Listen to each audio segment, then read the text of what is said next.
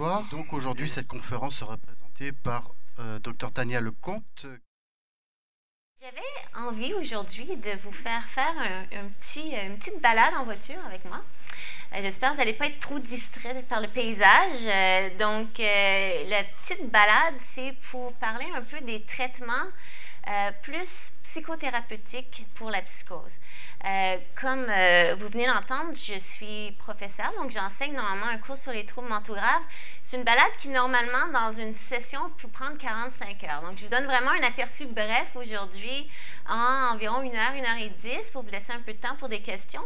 Mais je voulais avoir la chance de vous parler non seulement de mes recherches, mais un peu qu'est-ce qui se fait au niveau des approches euh, je dirais plus la thérapie, des approches plus psychosociales basées sur les recherches au niveau de la psychose. Donc, le titre euh, de la présentation, c'est Psychose traitée autrement. Donc, au-delà de la médication, les approches psychothérapeutiques. Mais au départ, malgré que plusieurs ici savaient c'est quoi la psychose, je voulais juste établir un peu les, les bases pour qu'on s'entende sur une définition. Euh, de manière général, on va considérer une psychose comme étant une affectation mentale qui va altérer le fonctionnement de l'individu et l'évaluation de la réalité. Souvent, quand les gens parlent de psychose, ils vont penser tout de suite à des symptômes psychotiques comme des idées délirantes ou des hallucinations. Ça, ce sont des symptômes. C'est possible d'avoir des symptômes psychotiques sans faire une psychose.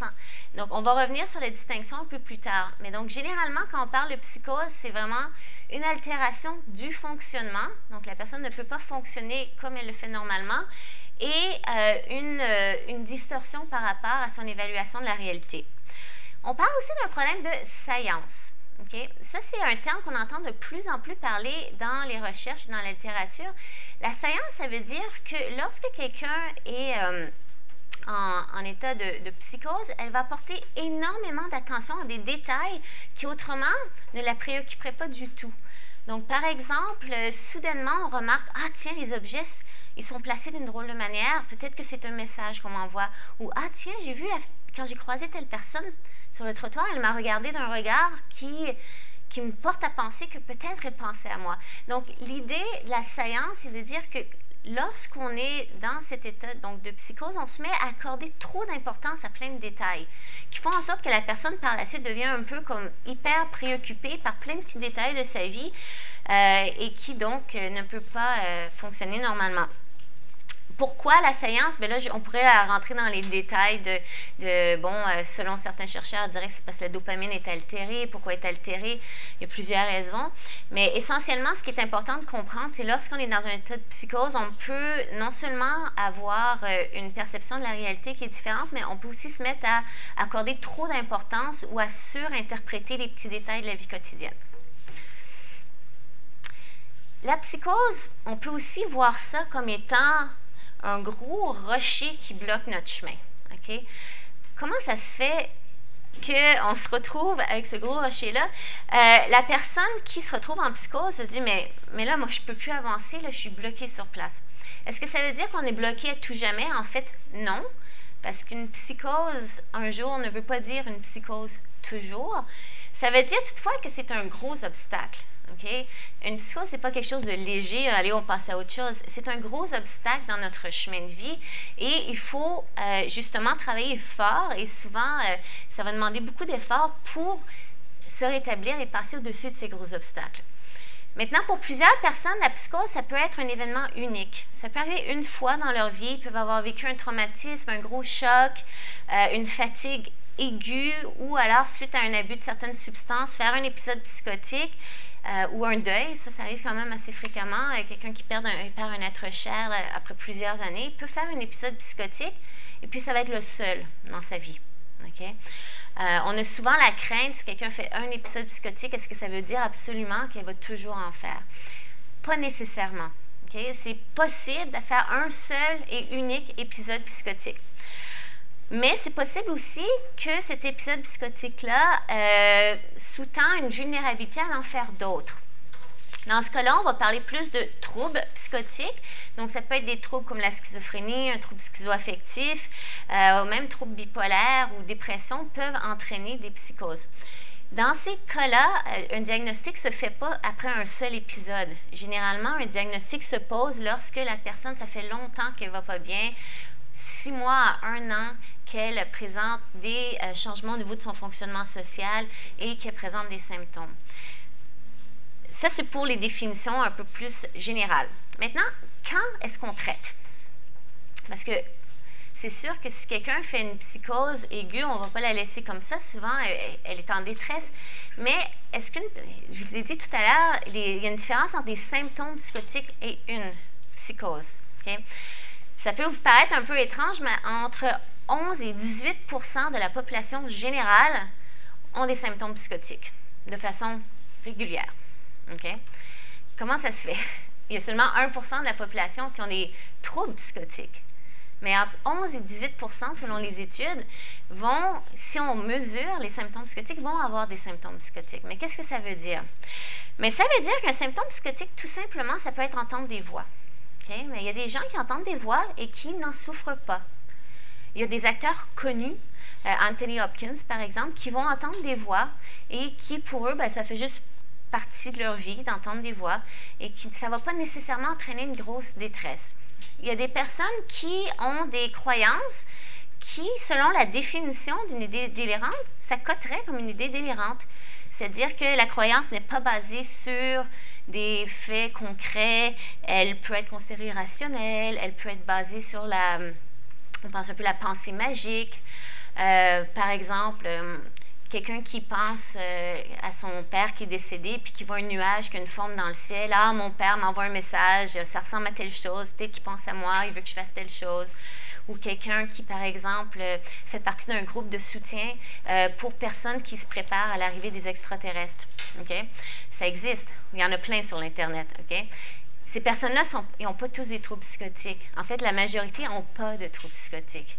C'est des personnes qui ont des croyances euh, qui sortent de la norme, qui ne sont pas nécessairement basées sur des preuves. On n'a pas beaucoup de preuves que les extraterrestres s'en viennent, euh, mais, qui fonctionnent assez bien dans leur, euh, dans leur contexte. On peut penser à des personnes, par exemple, qui ont des croyances religieuses particulières, comme les Raéliens, par exemple.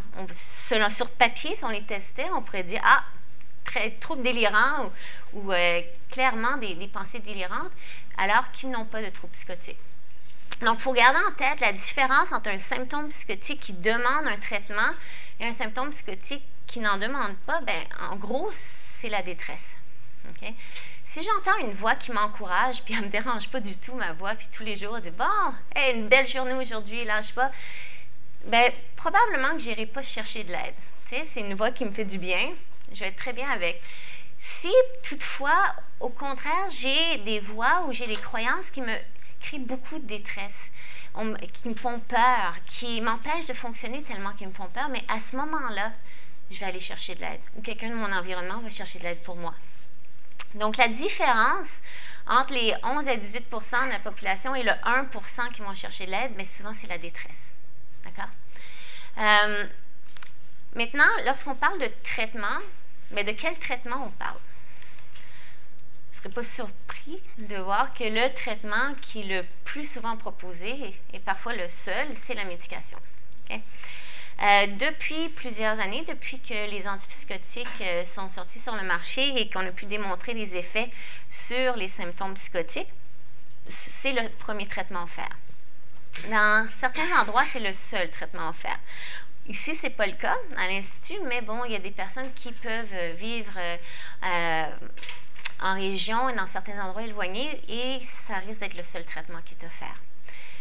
Mais aujourd'hui, le, le modèle qui soutient le plus les traitements, c'est le modèle du rétablissement.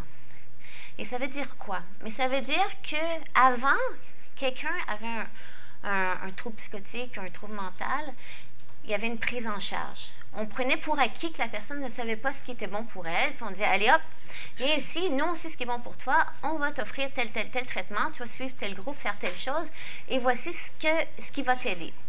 Le rétablissement, ça, part un peu à l'inverse. C'est plus, bon, mais comment est-ce qu'on peut t'aider à atteindre tes objectifs de vie? qu'est-ce qu'on peut faire pour t'accompagner pour que tu ailles mieux?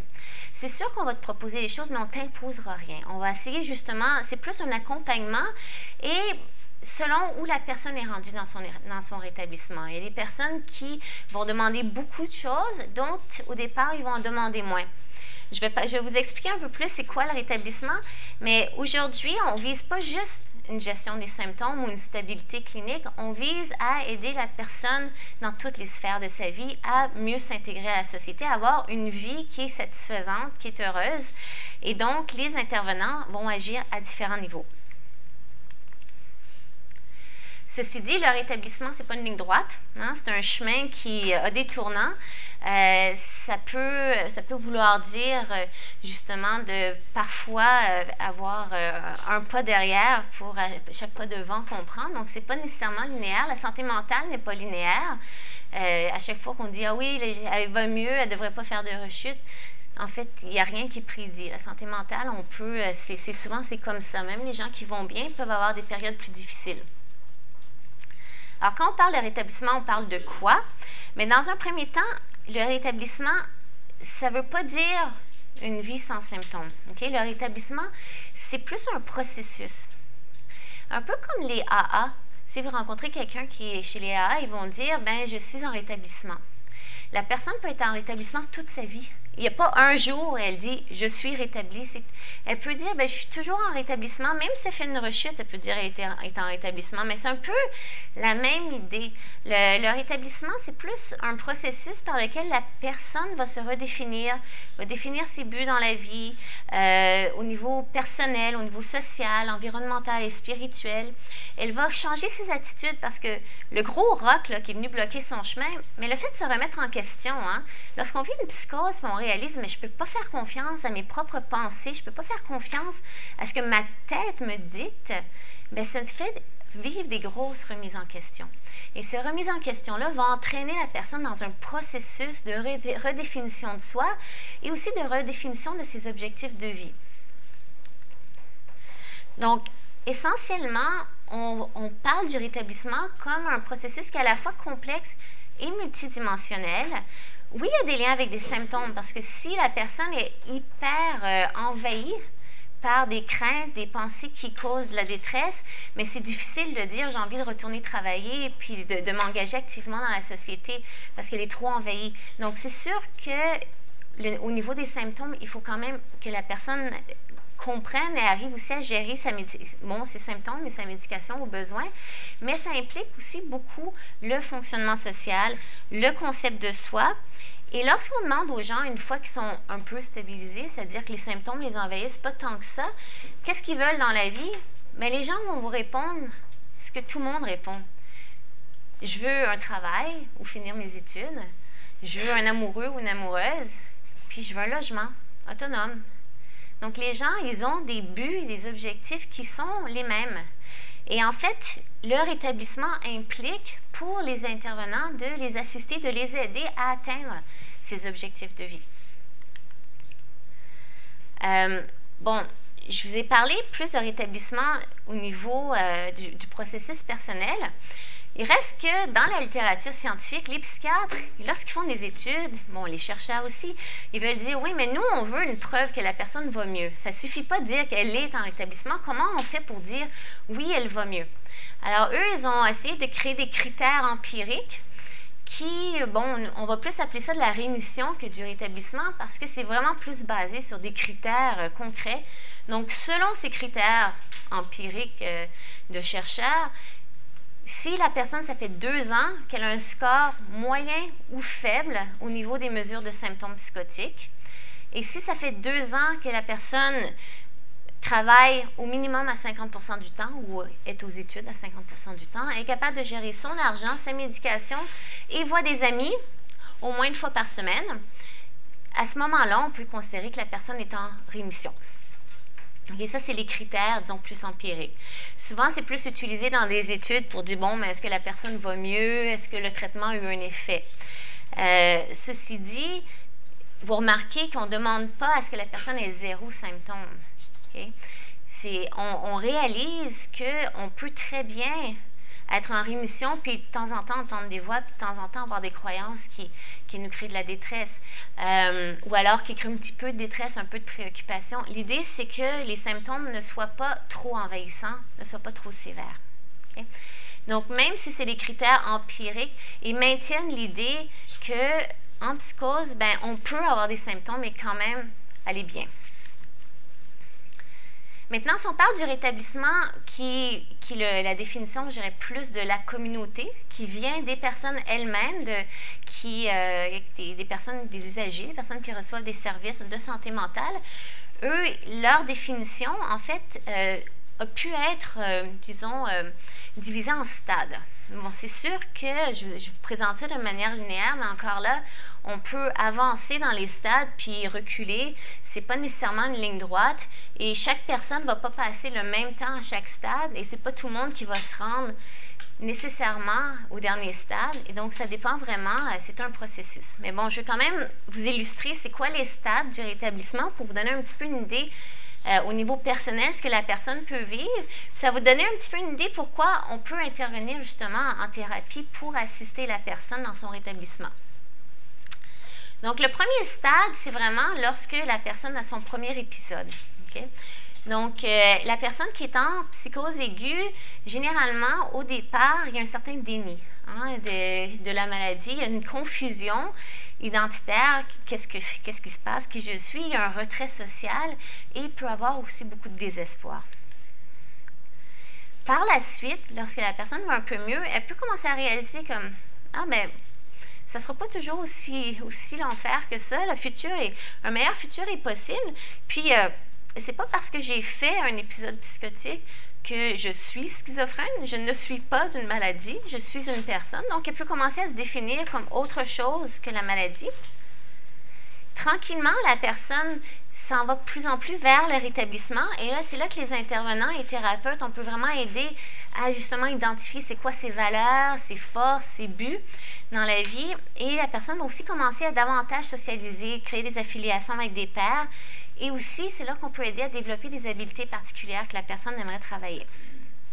La reconstruction, à ce moment-là, c'est la formation d'une identité positive euh, avec des buts atteints qui sont plus clairs et la prise de responsabilité. On peut penser que la personne y retourne au travail, retourne aux études. Puis, bon, finalement, la croissance, bien, clairement, la personne, elle a trouvé un sens à sa vie, elle a une vision de soi qui est très positive et elle a aussi appris à avoir une certaine résilience, c'est-à-dire à reconnaître quand ça ne va pas, être capable de gérer ses symptômes, même si elle vit des rechutes, elle est plus apte à prendre soin de sa propre santé mentale. Donc, comme intervenant, en fait, comme thérapeute, comme psychologue, euh, ce qu'on essaie de faire le plus possible, c'est d'offrir des interventions qu'on sait vont aider. Donc, ces interventions-là, c'est des interventions, des programmes qui sont basés sur des données probantes. Ça veut dire qu'ils ont été étudiés dans des grosses études où les personnes ont été randomisées pour se voir une intervention ou une autre, et donc qui clairement ont fait leurs preuves de manière empirique. Ça peut être des interventions qui visent justement à aider la personne à mieux gérer ses symptômes, comme ça peut être des interventions qui travaillent davantage sur l'atteinte de but ou sur la socialisation ou sur d'autres aspects qui sont liés au rétablissement lesquels sont reconnus aujourd'hui dans la littérature scientifique comme basés sur des données probantes? L'entraînement aux habiletés sociales, donc le skills training, ça date des années 80. Donc ça, c'est une intervention qui est souvent offerte en groupe et qui aide les personnes qui ont plus de difficultés au niveau de socialisation, qui travaillent beaucoup sur euh, les aspects verbaux et non verbaux de la communication. Il y a beaucoup de jeux de rôle. Aider la personne, comment, comment dire à son psychiatre qu'il y a des effets secondaires de la médication, comment comment parler avec son, le propriétaire de son logement qui a un problème dans le logement, comment s'affirmer de façon positive, etc. Donc, l'entraînement aux habiletés sociales a démontré, donc au niveau empirique, que les personnes qui suivent cette intervention-là deviennent meilleures, justement, euh, au niveau de leur socialisation et de leurs habiletés à communiquer. Le suivi intensif en, communauté, c'est pas une intervention, c'est plus un programme. Et ça, c'est un programme spécifique pour euh, les personnes qui ont de multiples problématiques. Donc, souvent, c'est les personnes qui ont un trouble mentaux grave, problème de toxicomanie, d'itinérance et qui vont se retrouver euh, de façon répétée à l'hôpital. Et donc, pour éviter le syndrome de la porte tournante, ben, il y a des équipes spécialisées qui ont été créées, qui sont offertes 24 euh, heures par jour, 7 jours semaine, pour justement assister les personnes qui ont des besoins plus importants. Et encore là, ça fait de ses preuves. Donc, depuis que ces programmes-là sont offerts, les, personnes qui sont visées par ces programmes-là euh, vivent beaucoup moins d'hospitalisation euh, qu'avant ces programmes.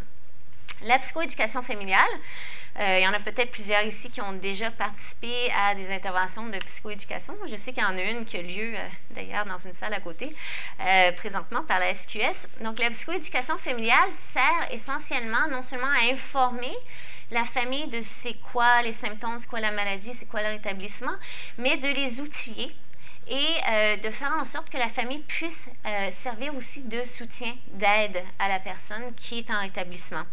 En même temps, on les outils pour éviter euh, que les familles se brûlent, parce que des fois, ça peut être très difficile d'être un aidant naturel. Donc, la psychoéducation familiale, c'était reconnu non seulement que ça aide les parents, mais ça aide la personne qui a un problème de santé mentale, ça diminue les rechutes. Le soutien d'emploi, ça encore, c'est un programme. Donc, c'est un programme qui vise à aider les personnes qui ont des troubles mentaux graves à obtenir un emploi régulier compétitifs, donc salaire minimum ou plus dans la communauté. Donc, ce ne sont pas des emplois réservés, c'est les emplois de monsieur, madame, tout le monde. Et ces programmes de soutien en emploi facilitent justement, ils font tout, ils accompagnent la personne, les préparent pour l'entrevue, parfois même vont avec eux et offrent un soutien continu pour faire en sorte que la personne non seulement obtienne un emploi, mais dans la mesure du possible puisse le maintenir. Et euh, ces programmes-là ont démontré que de loin, ils permettent beaucoup plus aux personnes d'obtenir des emplois que les programmes vocationnels plus traditionnels. Le traitement intégré pour les troubles concomitants, c'est aussi un programme, c'est-à-dire qu'au lieu de dire Ah, ben, tu as un problème de toxicomanie, tu vas à la clinique X, tu as un trouble psychotique, tu vas à la clinique Y, mais c'est les deux où tu vas, tu te retrouves entre deux chaises. L'idée, c'est d'offrir les deux programmes en même temps pour les personnes qui ont une double problématique euh, et c'est beaucoup plus efficace parce qu'on peut tenir compte justement euh, des problèmes de toxicomanie euh, liés à la santé mentale.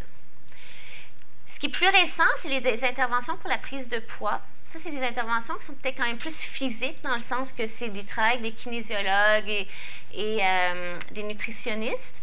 La prise de poids est souvent liée à certaines c'est pas tout le monde, mais plusieurs personnes peuvent prendre beaucoup de poids liés euh, à la, deuxième génération d'antipsychotiques. Et donc, pour éviter euh, des problèmes comme le cholestérol et le diabète et tout ça, donc il y a des interventions qui sont, sont offertes dans plusieurs milieux qui visent justement à euh, aider la personne soit à éviter de prendre du poids ou à perdre du poids qui était dû à la médication. La thérapie de remédiation cognitive, ça, ça s'offre souvent par ordinateur. En fait, c'est pour les personnes qui ont des troubles de mémoire, des troubles d'attention, des difficultés à se concentrer. Et ce type de thérapie euh, permet de, en faisant des exercices qui justement travaillent la mémoire ou travaillent l'attention, aide les gens qui ont ce type de déficit à surmonter du moins en partie leur déficit et à ce moment-là être capable de mieux réussir à l'école ou dans leur travail. Finalement, la thérapie cognitive comportementale pour la psychose, je l'ai mis en gras parce que c'est là que je voulais vous parler un peu aujourd'hui. C'est euh, aussi basé sur les données probantes et je vais vous en parler un petit peu plus. Donc, c'est quoi? Mais c'était développé par Beck, qui, est le type aux cheveux gris, qui, est toujours vivant, là, qui a plus de 90 ans aujourd'hui. Avec, ça, c'était moi il y a quelques années. Euh, donc, la thérapie cognitive comportementale été développée par Beck dans les années 50. À l'époque, il y avait pratiquement que la psychanalyse qui était offerte comme, euh, mode de, thérapie. Et puis, euh, lui travaillait beaucoup avec les gens qui présentaient une dépression, puis il a réalisé qu'ils avaient une façon de voir les choses qui était un peu biaisée, hein, qui était euh, une, façon d'interpréter le monde qui était teintée, on peut dire et que si on pouvait changer ses croyances ou ses pensées ou cette façon de voir la réalité, mais peut-être la personne se sentirait moins déprimée. Et donc, développer une thérapie qui visait justement à changer les croyances erronées des personnes qui euh, souffraient de dépression. Dans les années 90, des chercheurs en Angleterre euh, qui s'intéressaient beaucoup à la cognition dans la psychose se sont mis à réaliser que les personnes qui ont des troubles psychotiques ont aussi une façon un peu erronée, donc des billets cognitifs d'interpréter le monde qui pourraient être considérés des biais très spécifiques. Et ils se sont dit, mais Beck a réussi avec la dépression en offrant une thérapie cognitive comportementale à modifier ces biais-là, à modifier ses croyances. Peut-être que nous aussi, on peut faire ça avec la psychose. Et euh, c'est ce qu'ils ont fait. Donc, ils ont décidé de modifier la thérapie cognitive comportementale pour la psychose et ont eu des très bons résultats. Donc, comment ça fonctionne? En gros, l'idée, c'est que les croyances et les pensées dysfonctionnelles vont soutenir les symptômes. Donc, si on arrive à les modifier avec des techniques cognitives et comportementales spécifiques, toujours dans un contexte d'une bonne relation thérapeutique, que ce soit une relation entre un, thérapeute et son client ou une thérapie de groupe avec les membres du groupe, mais à ce moment-là, la personne peut se mettre à être moins persuadée par ses croyances et donc vivre moins de détresse et aller mieux. Donc, concrètement, euh, si je suis, par exemple, je suis persuadée qu'on m'empoisonne. Pourquoi je suis persuadée qu'on m'empoisonne? Parce que j'ai ma soupe, elle avait vraiment un drôle de goût. Et dernièrement, je ne fais plus trop confiance aux gens avec qui j'habite. Donc, ma soupe avait un drôle de goût. Donc, je suis persuadée qu'on tente de m'empoisonner. La conséquence, ben, je me sens très, très, très apeurée. J'ose plus manger. Donc, je m'enferme dans ma chambre, j'ose plus manger. Et vu que je mange plus, ben, je peux plus vérifier si les autres plats qu'on me sert ont aussi un goût bizarre. Et donc, je continue à croire que je suis dans un milieu qui est dangereux où on veut m'empoisonner. Pour la même situation, ma soupe a un drôle de goût. Si j'avais pensé, ah, c'est une mauvaise idée de prendre la soupe tout de suite après m'être brossé les dents, c'est normal qu'elle ait un drôle de goût, à ce moment-là, la conséquence aurait été banale. J'aurais dit, bon, mais la prochaine fois, hein, je, vais attendre avant de me brosser, me brosser non après, non pas avant de manger ma soupe. Et j'aurais pas été en détresse, puis bon, j'aurais continué mon chemin normalement. Donc, l'idée, c'est de. Une même situation peut créer des perceptions et des émotions très différentes selon le vécu de la personne. Et l'idée avec la TCC, c'est on va emmener la personne, pas nécessairement à croire, ah, c'est peut-être parce que tu t'es les dents, mais emmener la personne à dire, mais est-ce que ça pourrait être autre chose? Est-ce que c'est possible qu'il y aurait une autre explication? Et aussi d'emmener que parfois, nos perceptions peuvent être euh, biaisées. Parfois, on n'a pas toute l'information. Et selon l'angle dans lequel on voit la situation, on peut voir les choses de façon très différente. Alors, voici un exemple. Le monsieur, il mange son, son brownie, son petit gâteau au chocolat. Oups, il a échappé son gâteau au chocolat.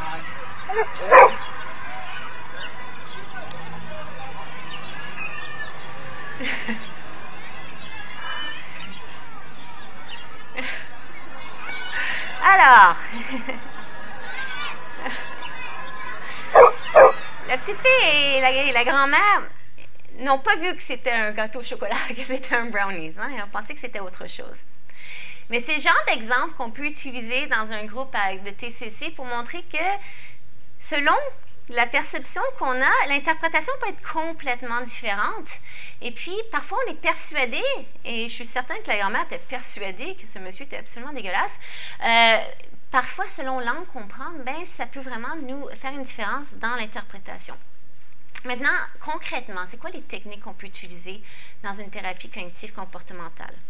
il y en a plusieurs. Une technique qui est très, très, très euh, puissante, c'est la normalisation.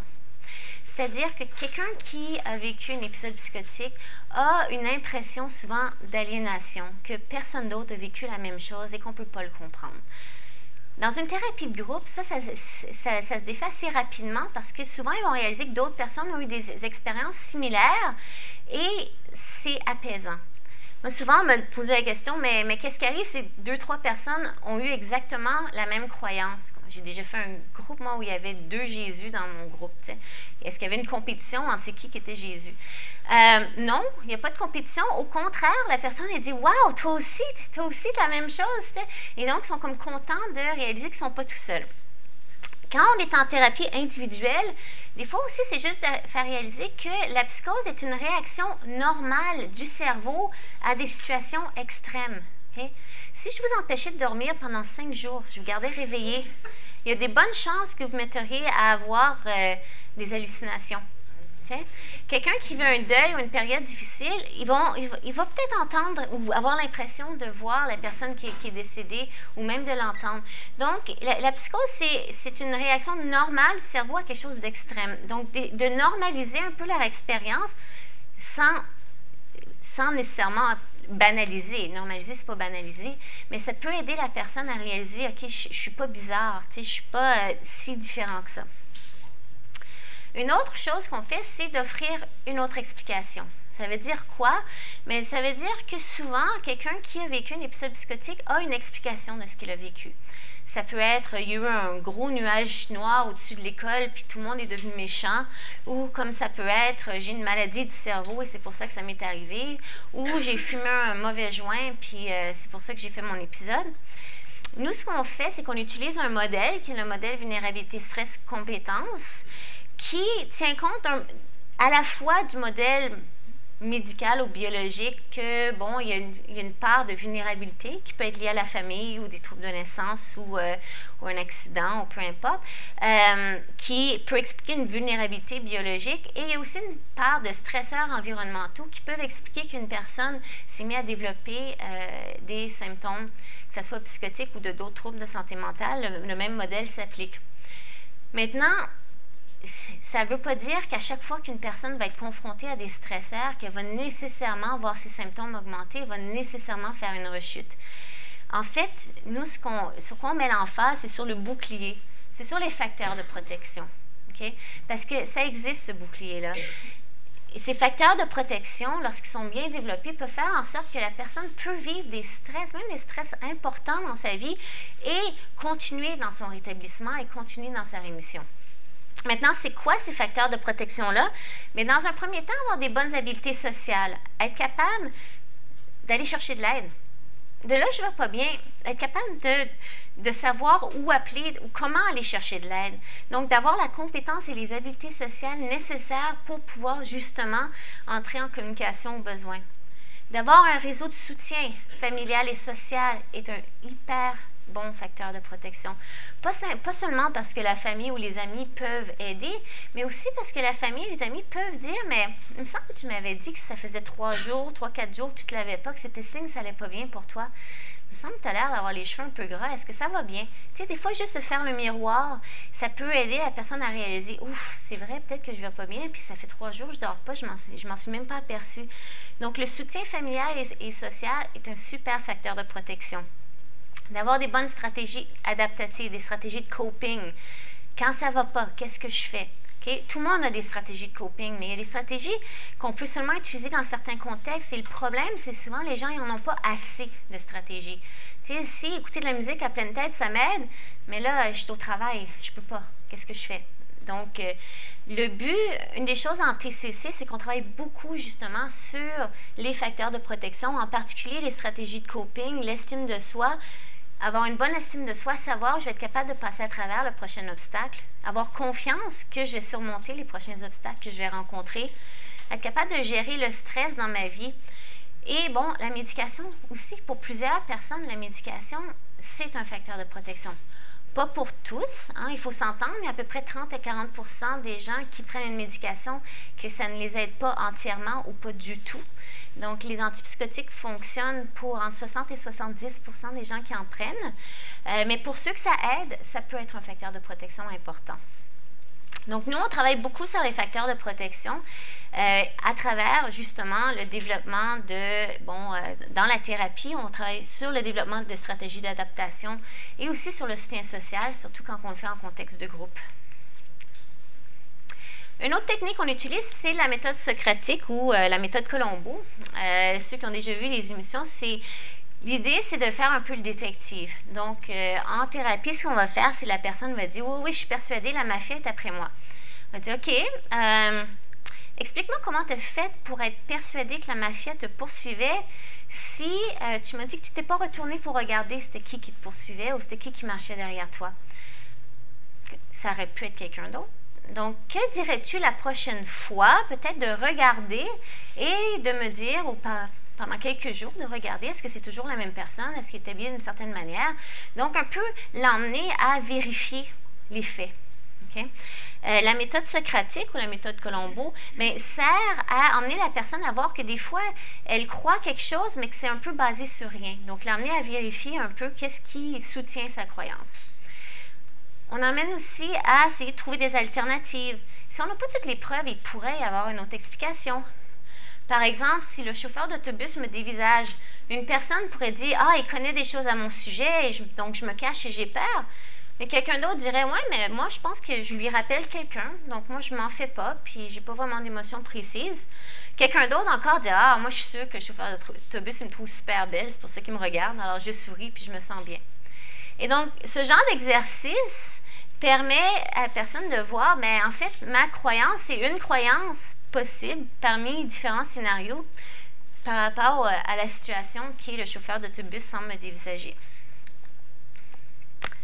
Les stratégies de coping, j'en ai, parlé qu'on passait du temps là-dessus pas mal, mais c'est quoi les genres de stratégies qu'on peut euh, justement essayer ensemble? Ça peut être des stratégies qui sont plus cognitives, c'est-à-dire quelqu'un qui entend beaucoup de voix, qui est obsédé par le contenu, on peut dire, ben, au lieu d'écouter le contenu, essaie d'écouter plus c'est un homme, c'est une femme, à quel âge cette voix-là? Donc, porter l'attention sur le type de voix plutôt que sur le contenu. Euh, avoir, essayer de penser quelque chose de positif à mon sujet. sais, pourquoi on m'en voudrait? Pourquoi la mafia serait après moi? Dans le fond, je suis une bonne personne. J'ai rien fait de grave. Donc, essayer de m'encourager en pensant à mes qualités ou des choses positives.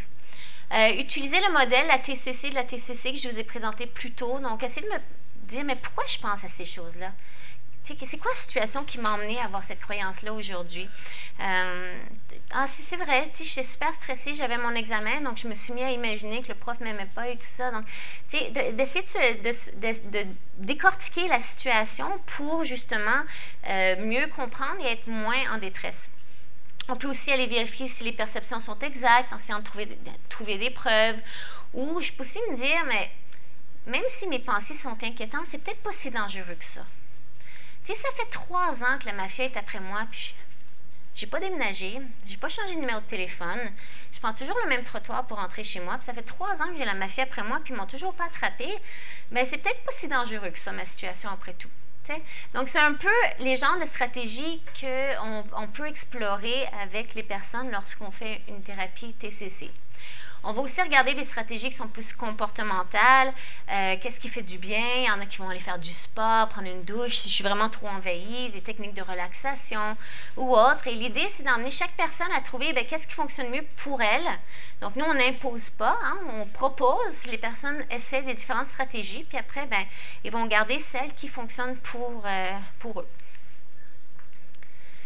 Donc, au niveau de la recherche, qu'est-ce qu'on sait? Bien, la thérapie cognitive comportementale pour la psychose, il y a eu plus que 30 grosses études, ce qu'on appelle des essais randomisés, qui soutiennent que ça fonctionne. Ça fonctionne à quel niveau? Ça fonctionne au niveau de diminution des symptômes chez les personnes qui continuent à en avoir. Donc, les études ont été faites auprès de personnes qui, malgré la prise de, de médication, continuaient à avoir des symptômes psychotiques. Et il y a une étude récente d'ailleurs qui vient de sortir, pour les personnes qui ne prennent pas du tout de médication. Vous savez, il y a des gens qui refusent toute médication. Donc, euh, et ça fonctionne même pour les personnes qui refusent toute médication. C'est-à-dire que de façon générale, les gens s'améliorent. Donc, nous, on a fait des études aussi, je vais vous en parler brièvement. Donc, euh, une grosse étude euh, que mon laboratoire a fait à Montréal et à Vancouver, où on a offert une thérapie cognitive comportementale en groupe à des personnes qui euh, étaient suivies par une clinique de premier épisode. Donc, dans les deux premières années depuis leur premier épisode, il y a 48 personnes qui ont été assignées à recevoir une thérapie de groupe de thérapie cognitive comportementale. On a un autre groupe a reçu une thérapie plus qu'on appelle une gestion de symptômes. Donc, c'est une thérapie un petit peu plus structurée qui dit c'est tel symptôme, voici ce que tu devrais faire, euh, à quel moment tu dois appeler ton médecin, etc. Donc, c'est euh, de la gestion des symptômes, mais un petit peu plus prescriptif, disons. Et euh, un autre groupe était sur une liste d'attente de recevoir l'intervention. On a pris des mesures avant le traitement, après le traitement, donc trois mois plus tard. C'est un traitement qui durait 24 rencontres.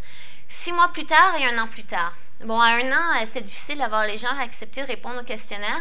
Donc, je vais vous présenter les résultats comparatifs jusqu'à six mois. Et ce qu'on voit, c'est les deux interventions qui visaient justement à améliorer les symptômes, ben, ont vu des améliorations au niveau des symptômes. Donc, on voit ici, le mauve, c'est TCC et le rouge, c'est le groupe de gestion des symptômes. Le bleu, c'est les gens qui avaient le traitement habituel. Et puis, les deux groupes de traitement ont vu une amélioration, en particulier le groupe de thérapie cognitive comportementale, et ça continue à s'améliorer au suivi de six mois. La même chose pour les symptômes positifs. Les deux groupes de traitement ont vu des améliorations même au suivi de six mois, alors que le groupe contrôle, non. Il y a seulement le groupe TCC, donc thérapie cognitive comportementale, qui ont vu une amélioration au niveau de l'estime de soi en post-thérapie, et ça s'est maintenu par la suite et seulement le groupe TCC qui euh, se sont mis à développer plus de stratégies de coping, parce qu'on travaille beaucoup sur le coping, comme je vous disais, donc ils, sont mis à utiliser plus de stratégies de coping en post-thérapie. Ce qui était particulier, c'est qu'au suivi de six mois, il y a seulement ceux qui étaient dans le groupe TCC qui ont amélioré leur soutien social au niveau de l'attachement en particulier. Euh, comme si le fait d'être dans ce genre de groupe les a vraiment aidés à créer plus de liens et ça s'est euh, traduit dans un meilleur euh, soutien social dans la communauté. Maintenant, à un an, je ne peux pas comparer les groupes, mais le groupe TCC, on avait quand même assez de sujets pour voir comment eux ont, changé. Et dans un an, ce qu'on voit, c'est que les symptômes, ben, ça remonte un peu. Hein. Un an après la thérapie, ça ne reste pas plat tout le temps. Comme je l'ai dit, la santé mentale, souvent, ça fluctue. Mais ce n'est pas revenu au niveau de avant la thérapie. Donc, il y avait comme un maintien que les personnes continuent à aller mieux qu'ils allaient avant. Les symptômes positifs aussi, on voit ça remonte un peu, pas autant qu'au début, mais ça remonte un peu. Et les symptômes euh, négatifs aussi, quoique beaucoup moins. Et le soutien social continue à augmenter au suivi de un an. L'autre question qu'on s'est posée, c'est euh, pourquoi? Qu'est-ce qui fait que ça fonctionne? Parce que je vais vous dire que les études TCC disent que c'est une thérapie qui fonctionne bien pour la psychose, mais la plupart ont eu des meilleurs résultats avec des personnes que ça faisait longtemps qui étaient suivis en psychiatrie. Et ils n'ont pas eu beaucoup de bons résultats avec les personnes qui étaient en début de processus. Alors que nous, on a eu des super bons résultats avec des personnes qui étaient dans les cliniques de premier épisode. Donc, on a voulu essayer de comprendre, mais est-ce que c'est parce qu'on fait la thérapie en groupe et que la majorité des autres études, ils font de l'individuel? Moi, je pense que le groupe, ça a une valeur thérapeutique qui, est très forte. Et euh, donc, on a fait une autre étude, donc ici à l'Institut, à la clinique de premier épisode, puis à la clinique JAP du CHUM. Donc, 50 personnes ont participé. On a recueilli des données pré, post-thérapie, six mois plus tard. On a fait la même intervention de groupe, 24 rencontres. Et on a commencé par regarder est-ce que les gens ont, vu des améliorations similaires à l'autre étude? Et oui, donc on voit des améliorations en post-thérapie au suivi de six mois sur les symptômes généraux, sur les symptômes positifs, sur l'estime de soi. Et sur le choice, ça c'est les personnes qui s'auto-évaluent eux-mêmes à quel point est-ce qu'ils considèrent que euh, euh, leurs symptômes se sont améliorés, à quel point est-ce qu'ils considèrent qu'ils ont des meilleures habiletés de coping. Et donc, amélioration à tous les niveaux. Et pourquoi? Qu'est-ce qui faisait que les gens se sont améliorés? Bien, ce qu'on s'est aperçu, c'est que les, euh, variables relationnelles sortent beaucoup. Donc, l'amélioration des symptômes, de l'estime de soi et même l'auto-évaluation de son amélioration personnelle sont beaucoup liés à comment la personne perçoit sa relation avec son thérapeute. Comment est-ce qu'elle perçoit son groupe? Est-ce qu'elle considère qu'elle elle fait un tout avec son groupe de thérapie, qu'il y a une bonne cohésion? Donc, les, les, variables plus relationnelles expliquent une grande partie des résultats. Donc, ça, bon, c'est un peu. Euh, je vais vous le résumer. Là. Donc, qu'est-ce qui explique les symptômes totaux? Bien, 52% de la variance est expliquée par des variables relationnelles. C'est-à-dire que oui, les techniques ont un effet, oui, il y a d'autres choses qui se passent en thérapie, mais une grosse partie de l'amélioration dans les symptômes qu'on retrouve est due à la cohésion avec le groupe, l'alliance avec le thérapeute, l'alliance, le, lien de confiance avec le thérapeute. Les symptômes positifs, 21% de la variance, donc euh, un cinquième des résultats peuvent être expliqués par à quel point est-ce que je, sens que je clique avec mon thérapeute, à quel point est-ce qu'on voit des, des, euh, des, qualités chez les autres personnes qui sont dans le groupe. Et puis la personne elle-même, son, amélioration dans son auto-évaluation, ben, est prédite encore par à quel point je me sens compatible avec les autres membres du groupe, à quel point que je trouve qu'on se ressemble, on est compatible. Et aussi, de façon un peu étonnante, les personnes qui étaient un petit peu moins confiants au début, qui étaient un peu moins optimistes par rapport à est-ce que ça les aidait, mais ça se sont plus améliorées. Donc, ce n'est pas nécessairement oui, je suis convaincue que la thérapie va m'aider qui prédit que ça va mieux. En fait, c'est plus l'inverse. Les gens qui étaient peut-être pas très, très confiants, qui disaient, ben je vais y aller, mais je suis pas sûre que ça va m'aider tant que ça. Puis, se sont retrouvés à être beaucoup plus, euh, à, vivre une plus grande euh, amélioration au niveau de leur perception euh, de, la diminution de leurs symptômes et de leur coping. Donc ça, c'est des études qui nous permettent un peu plus de comprendre ben, la TCC, pourquoi ça fonctionne. Ça ne veut pas dire que les techniques servent à rien, tout ce que je vous présentais, en fait, ça, ça explique que le contexte de groupe est un contexte qui est très euh, riche et que le contexte interpersonnel facilite justement l'apprentissage des habiletés dont j'ai mentionné, euh, facilite justement le, l'apprentissage du modèle TCC, aide la personne à chercher des alternatives. Ça peut être très menaçant de chercher des alternatives pour ses propres croyances. Mais quand on est dans un groupe et on fait confiance aux autres et qu'on on sent que on, clique ensemble, que le groupe est compatible pour une bonne alliance, on est plus ouvert à peut-être considérer ce que l'autre personne nous amène comme point de vue différent. Et à ce moment-là, ben, ça peut aider justement à changer nos façons de voir les choses. Il y a d'autres études qu'on a faites qui sont un peu en lien. Il y a le module avec euh, qui euh, a été développé pour les parents. Donc, ce qu'on a fait, c'est qu'il y avait plusieurs parents, lorsqu'on offrait la TCC pour les premiers épisodes, qui euh, nous appelaient et nous disaient Mais euh, nous, est-ce que vous avez quelque chose pour nous?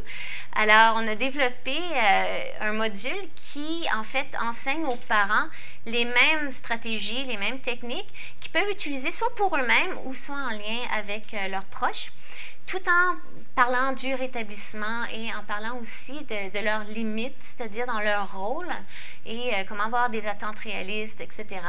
Et donc, on a fait une étude pilote. Et puis, 40 euh, parents, je ne sais pas s'il y en a ici qui ont participé, mais il y a 40 parents qui ont participé à cette étude, donc à l'Institut surtout, mais un peu partout à Montréal. Et puis, ce qu'on a vu, bon, il n'y avait pas de groupe contrôle, mais les parents eux-mêmes, on a mesuré leur détresse psychologique avant et après le groupe, et on a vu une diminution significative au niveau de leur détresse psychologique, donc au niveau de certains symptômes de détresse. Euh, ils ont mentionné aussi une grande satisfaction et des attentes plus réalistes, donc plus d'espoir euh, face au futur avec leurs jeunes. C'est sûr qu'on n'avait pas de groupe contrôle, donc il faire une étude comparative, mais je sais juste en, en parlant avec les travailleuses sociales qui ont fait le groupe, que euh, leur groupe précédent, qui était seulement psychoéducatif, ils avaient eu un taux d'abandon de 80 pendant le groupe, alors que le module avec, ils ont un taux d'abandon de moins de 20% Donc, il y avait une rétention beaucoup plus grande, ce qui semblait parler peut-être une plus grande satisfaction face au contenu. Euh, une autre étude qui est un peu liée à la TCC, on est en train de terminer une étude où on a développé un module de TCC pour les personnes qui sont dans un programme de soutien à l'emploi, avec comme but de mieux outiller la personne lorsqu'elle se retrouve en emploi pour qu'elle conserve son travail. Euh, souvent, on rencontrait le problème de la personne si son employeur il faisait une critique, elle disait ça y est, il m'aime pas, puis lâchait sa job. Alors, euh, l'idée, c'est justement d'offrir des stratégies dans un contexte de groupe pour aider à négocier des accommodements, à faire face des fois à la stigmatisation au travail et à aussi changer des croyances qui peuvent être euh, dysfonctionnelles dans un contexte de travail. Donc, l'étude va finir bientôt. Là, il nous reste deux groupes à faire cet automne et on va avoir euh, atteint notre quota de 160 participants, 80 qui vont avoir reçu l'intervention et 80 qui vont avoir participé au groupe contrôle. Euh, une autre étude qu'on a faite récemment, c'est une étude pilote de thérapie de troisième vague. Donc, il y a ce qu'on appelle la TCC de troisième vague, qui est une thérapie qui euh, on dit qu'il est cognitive, comportementale, mais qui est plus basée sur euh, la pleine conscience, sur l'acceptation, sur la compassion. Euh, c'est au lieu de changer les croyances, l'idée est plus de dire, ben, j'accepte d'avoir ces pensées-là, j'apprends à vivre avec, je les laisse passer. Donc, c'est beaucoup plus, un peu plus zen, je dirais, comme approche. Il y a même un peu de méditation. Euh, et puis, on a fait une étude où on a vérifié est-ce que ce type de thérapie-là pouvait être approprié avec une clientèle de personnes qui étaient très, très envahies là, et qui euh, vivaient beaucoup de détresse par rapport à leurs symptômes psychotiques. Puis en fait, on a eu des résultats intéressants, euh, en particulier au niveau de l'anxiété qui diminuait, les personnes qui, suivaient ce genre de thérapie. Donc euh, là, on, va continuer à étudier, à voir si ce serait peut-être une thérapie qui serait peut-être plus appropriée pour les personnes peut-être moins verbales, parce que c'est beaucoup moins porté sur la parole et sur la métacognition. La TCC implique d'être capable de s'arrêter puis dire mais à quoi je pense, alors qu'une thérapie d'acceptation et euh, de, de, pleine conscience euh, demande peut-être un peu moins là, de, de métacognition. Donc, on, continue à explorer ce genre d'intervention. Donc, j'ai essayé de vous emmener un petit peu sur euh, le chemin de, des interventions euh, psychosociales pour la psychose. Je vous ai parlé surtout de la thérapie cognitive comportementale, puis bon, du rétablissement aussi. Euh, je pense qu'il faut voir ça comme ces thérapies-là, c'est des valeurs ajoutées. Ça permet justement d'offrir des nouveaux outils. C'est pas magique, par exemple. Il n'y a aucune intervention qui est magique. Euh, c'est pas miraculeux. Ça peut aider plusieurs personnes. Quand je dis ça aide, ça peut aider plusieurs personnes. Ça ne veut pas dire que ça va aider tout le monde. J'ai des exemples de personnes qui ont été dans certains de nos groupes qui, m'écrivent aujourd'hui, ça fait 7-8 ans, et puis qui ont réussi à vraiment utiliser les stratégies. Donc, je pense à une personne en particulier qui n'osait pas sortir de l'hôpital parce qu'elle était persuadée que dès qu'elle sortirait de l'hôpital, elle se ferait kidnapper. À chaque fois qu'elle voyait une personne assise dans une voiture, elle était persuadée que la personne voulait la kidnapper. Suite à la thérapie, elle était capable de sortir de l'hôpital et maintenant est en train de finir son doctorat en psychologie à l'Université d'Honolulu. Donc, tu sais, bon, c'est un exemple. C'est pas tout le monde qui fait ça. Mais certaines personnes, ça peut vraiment les aider. D'autres personnes, ils vont en retirer un élément ou deux. J'ai plusieurs personnes qui me disent ah, Moi, la relaxation, c'est ça qui m'a le plus aidé. Parce qu'on fait une activité de relaxation à un moment donné. D'autres, ils vont vraiment incorporer les modèles. Puis, dit Moi, le modèle vulnérabilité, stress, compétence, je, l'utilise au quotidien. Tu sais, donc, ça dépend. On ne peut pas dire que tout le monde intègre tout. On ne peut pas dire que ça aide de la même manière toutes les personnes, mais euh, c'est possible que ça aide de manière très significative et de façon générale, dans la moyenne, mais c'est une valeur ajoutée. Et pour l'instant, ces thérapies-là, il n'y a aucune étude qui ont démontré des effets secondaires ou des effets négatifs.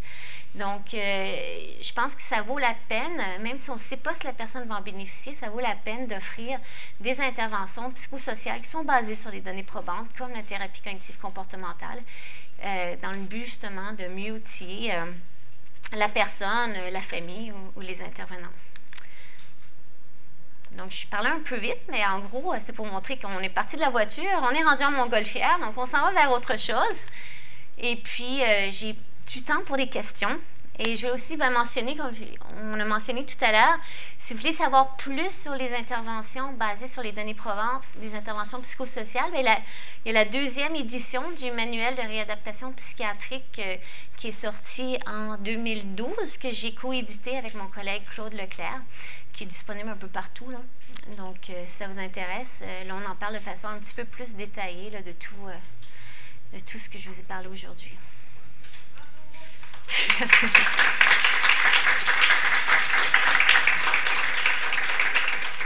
Et ça vous intéresse aussi, j'ai mis le site euh, de mon laboratoire, l'Espoir. On, présente euh, les résultats des étudiants du labo, de nos, de nos études. Au fur et à mesure qu'on a des, des, nouveaux résultats qui sortent, c'est l'espoir.ca. Euh, vous pouvez aller directement sur le site web, puis ça vous garde un peu au courant des études en cours, des résultats, etc. Donc, ça vous intéresse. Mais je suis ouverte si vous avez des questions.